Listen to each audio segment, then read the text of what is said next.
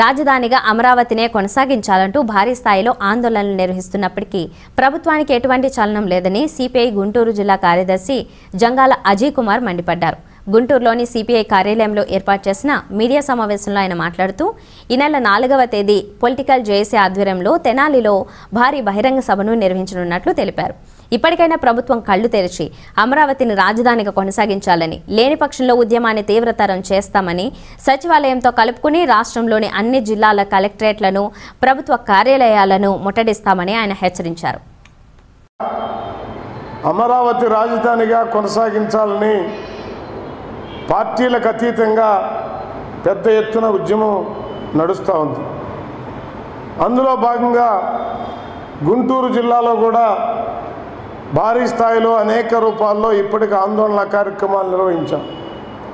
హైవేని దిగ్బంధనం చేయటం జరిగింది. అలాగే చలవ సమితికి పిలుపునివ్వడం జరిగింది.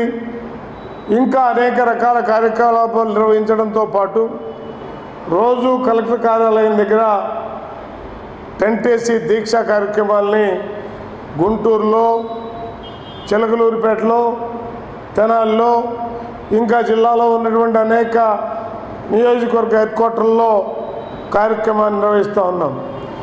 అయినా జగన్మోహన్ రెడ్డి ప్రభుత్వం దున్నపోత మీద వాన కురిసినట్టుంది చెవిటి వాని ముందు శంఖ ఊదినట్టుంది తప్ప మరొక రకంగా లేదు. అందుకని ఈ సందర్భంగా ఉద్యమాన్ని మరింత తీవ్రతరం చేయాలని నిన్న జరిగినటువంటి అంటే ముప్పై ఒకటో తేదీ జరిగినటువంటి సిపిఐ ఎమ్మెల్సీలంతా కూడా త్యాగపూరితంగా అమరావతి రాజధాని కోసం తమ పదవుల్ని కూడా తృణప్రాయంగా ఎంచడం స్పష్టంగా చూశాం. దీన్ని జగన్మోహన్ రెడ్డి గారు ఇంట్లో ఎలుక కనుక జొరబడితే ఇల్లు తగలబెట్టినట్టుగా మొత్తం అసెంబ్లీని శాసన శాసన మండలినే రద్దు చేస్తానని పూనుకోవటం అత్యంత దారుణమైనటువంటి విషయం.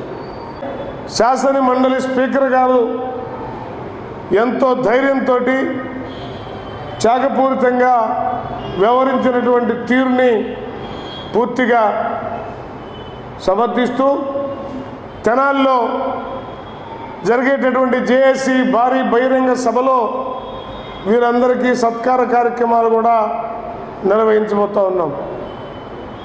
ఉద్యమం రోజు రోజుకి వేడెక్కుతూ ఉంది. నాలుగో తేదీ బహిరంగ సభ తర్వాత ఈ రాష్ట్రంలో ప్రభుత్వ కార్యాలయాల రాజధాని అమరావతిని యథాతథంగా కొనసాగించాలని డిమాండ్ చేస్తూ ఉన్నాం. లేకపోతే కనుక వీరోచితంగా జరగబోయేటటువంటి పోరాటంలో ఎలాంటి పరిణామాలు ఎదురైనా దానికి పూర్తి బాధ్యత ఈ రాష్ట్ర ప్రభుత్వమే భరించాలని తెలియజేస్తూ ఉన్నాం.